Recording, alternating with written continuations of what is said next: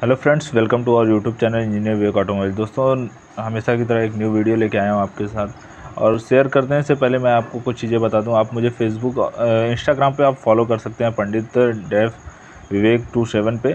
आप मुझे फॉलो कर सकते हैं और वहाँ पे भी आप वीडियोस देख सकते हैं। आज बात करने वाले हैं कि बलेनो कार के अंदर जो मिरर फोल्ड होता है और ओपन होता है, वो किस कंडीशन में होता है, क्या कंडीशन होती है?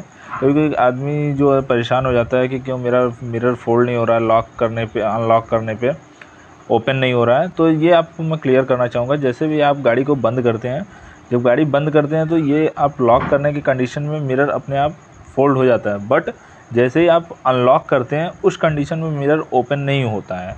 तो आपको लगता है कि मेरी कोई भी सेटिंग डिस्टर्ब हो गई बट ऐसा कुछ भी नहीं होता है फ्रेंड्स मैं आपको बताना चाहूँगा कि इस कंडीशन में इसलिए नहीं होता है क्योंकि गाड़ी खड़ी है तो इस कंडीशन में ऐसा नहीं है कि आप जब भी बैठेंगे या फिर कुछ भी करेंगे अनलॉक करेंगे तो वो ओपन होगा।